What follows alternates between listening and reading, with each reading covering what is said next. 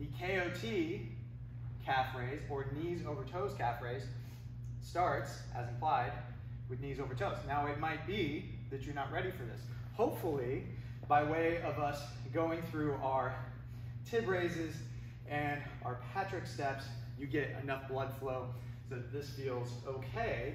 But let's say it didn't, you can go all the way back, you can go all the way back to barely any bend. You could go to almost straight leg and just kind of ease into it as you go. As I increase my ankle ability and range of motion, and I increase my ability to tolerate stress across the knee, I want to go basically as far as I can, loading all the way forward. You can see this start to replicate the beginnings, or at least a piece of a squat, and get up nice and tall. This is going to hit the bottom portion of my calf in contrast to the top portion. And this is one of the pound for pound strongest muscles in the body.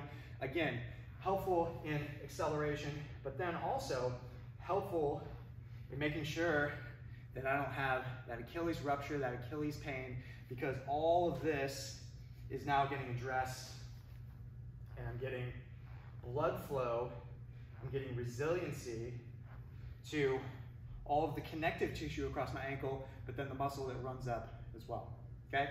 How do I modify? it? I start very tall, I sink in as I go. I don't necessarily want to get away from the wall. There is a level up that we'll discuss later, but for now, you can hang out here. Without equipment, you could go to one leg, and this becomes very difficult to hang on for 25 in a row. So you've got lots of options with no equipment.